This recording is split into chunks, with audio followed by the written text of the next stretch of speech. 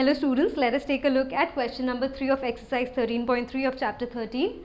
It says that the dimensions of a right circular cone are as follows. The curved surface area is 308 centimeters square and the slant height L is 14 centimeters. You need to find two things, radius of the base R and total surface area. So the first one, see we've been given the curved surface area which is pi r L. So we have the curved surface area, we have the length L. So in three variables, we've been given two, obviously we can find the third one R. So what we need to do is substitute the values of curved surface area, the length and this value, this unknown variable R into the uh, formula of curved surface area in order to find the base radius. And total surface area can be found out using the formula pi r into L plus R or you can simply find the base area that's pi r square and add it to the curved surface area because total surface area is curved surface area plus the area of the base. So let's do this sequentially. So first I will say curved surface area of cone is equal to pi r L. Curved surface area is given to be 308, pi we know is 22 by 7, radius is what we need to find and length is given to be 14.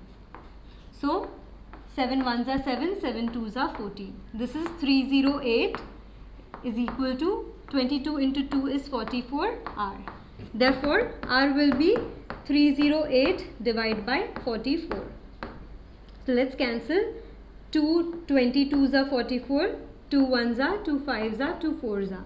Then again 2 11s are 22, 2 7s are 14, 2 7s are 14, 11 1s are 11, 11 7s are 77. So radius is equal to 7 centimeters because all the units are given in centimeters and centimeters square. So this is first the radius of the base. Now the total surface area is equal total surface area of cone is equal to curved surface area plus area of base right so this is going to be what 308 plus pi r square. So this is going to, you can even use the formula pi r into L plus r but this is the most convenient uh, way to uh, find out the total surface area. So you need to be a little quick and this will come only through practice. So I'll write 308 plus 22 upon 7 into r square. r is 7 into 7.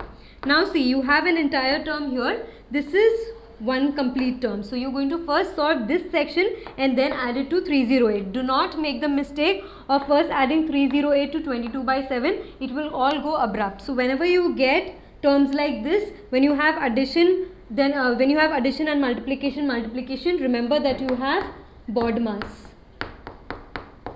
which states the series of how you're supposed to solve your questions. It's always first what is there in the brackets of division then multiplication then addition and subtraction. So multiplication comes before addition. So first priority is always given to multiplication and second priority here will give, be given to division and uh, uh, to addition. And if you have division first give priority to division and then multiplication.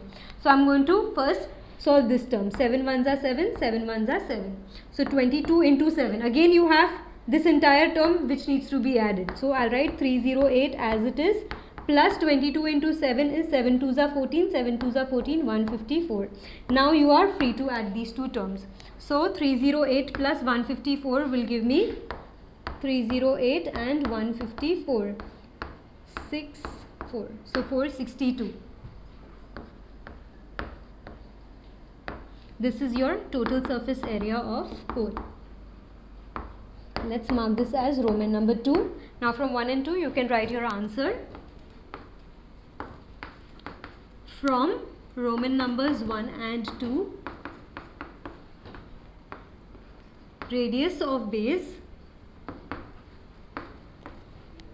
is equal to 7 centimeters and total surface area of cone is equal to 462 centimeter square. Also note, notice the difference in the units. For radius it is centimeters whereas for the area or the total surface area it is centimeter square.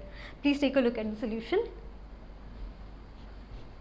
Thank you for watching this video. Hope this video increased your knowledge. For more such videos and a completely free educational content, log on to www.epathshala.org or visit our ePaathshaala YouTube channel. We have each and every question solved for maths, physics, chemistry and biology. So subscribe our channel, share with your friends, like our Facebook page and follow our Twitter handle for regular updates and important educational tips and also win ePaathshaala goodies.